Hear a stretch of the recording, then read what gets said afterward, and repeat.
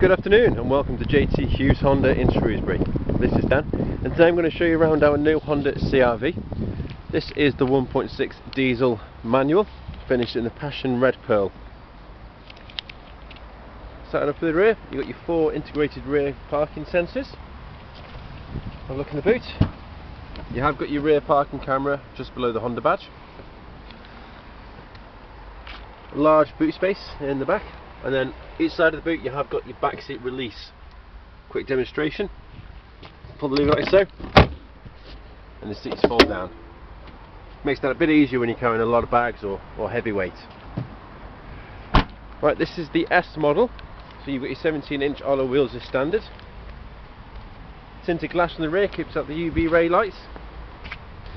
On this one you do also have the side steps which are an added option up to the front.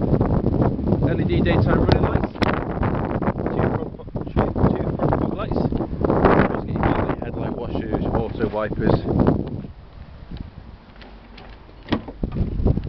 Quick look in the front, half leather, half Alcantara upholstery, mirror controls on the inside of the door, cruise control with speed limiter on the steering wheel, as well as your radio controls, heated seats, 6 speed manual gearbox, dual air conditioning and it's also got the upgraded Honda Connect 7 inch screen which comes with Garmin navigation as well.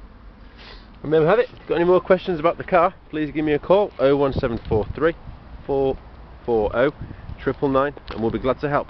Thank you.